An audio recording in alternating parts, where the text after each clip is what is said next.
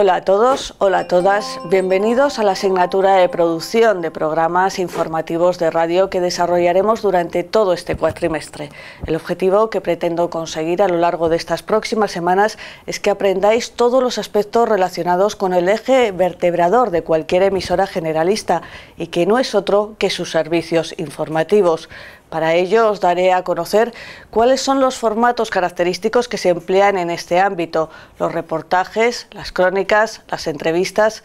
Sabremos cómo funciona un equipo de informativos, quiénes lo componen, en qué trabaja cada uno de sus miembros o cuáles son sus rutinas diarias. Aprenderéis el lenguaje, la correcta redacción de las noticias, el argot y la jerga que se utiliza habitualmente y la elaboración de un trabajo tan importante como son los guiones. Todo ello, y como ya podéis observar en todos los contenidos disponibles en el aula virtual, se trata de una asignatura eminentemente práctica.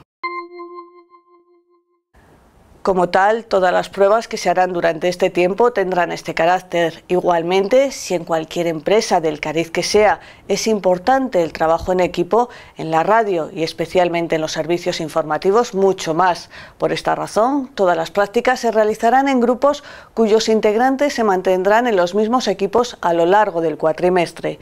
De este modo, se deberán realizar un total de cinco prácticas. Las cuatro primeras servirán como preparación para la última y más importante. Estas cuatro, de carácter preparatorio, se deberán entregar online. La última tendrá carácter presencial en los estudios de radio del campus de Fuenlabrada y coincidirán con las fechas de exámenes. Cada uno de los grupos dispondrá de dos horas para el desarrollo de esta última práctica. Os detallo las características de todas ellas.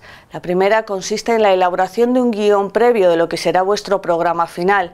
Para ello, como para el resto de las prácticas, tenéis las instrucciones detalladas en el apartado correspondiente en el aula virtual y os servirá del guía algunos de los contenidos incluidos en el temario. Su valoración será un 10% del total de la asignatura. La segunda es un análisis comparativo de los programas informativos que se realizarán en sendas cadenas de radio españolas. La elección de ambas emisoras será vuestra. La intención de esta práctica es que os familiaricéis con los distintos formatos y que profundicéis en los detalles de cada uno de estos programas informativos. Su valoración será de un 20%. Como tercera práctica, os invito a que realicéis un guion literario de una parte de vuestro programa. Se tendrá muy en cuenta la redacción y el lenguaje utilizado conforme a las observaciones que os detallo en el temario. Su valoración será de un 10%. La última de las prácticas que debéis entregar vía online es la creación de un guion técnico de lo que será vuestro programa final. También encontraréis las explicaciones oportunas de cómo se hace, así como un ejemplo detallado en el temario, concretamente en el tema 3. Su valoración final será de un 20%.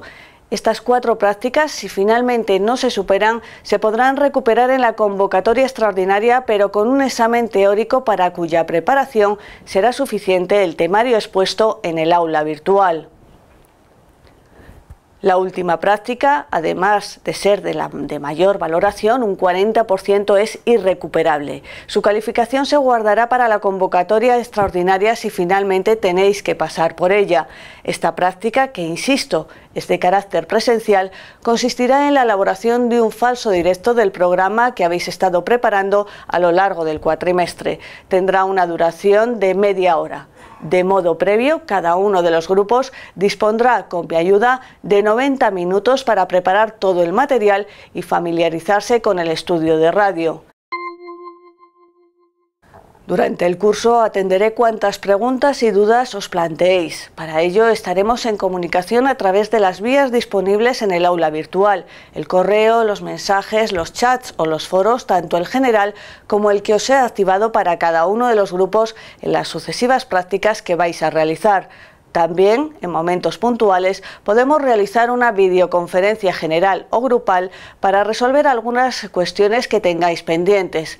Mi respuesta, salvo fines de semana o casos excepcionales, no se demorará más allá de 24 horas.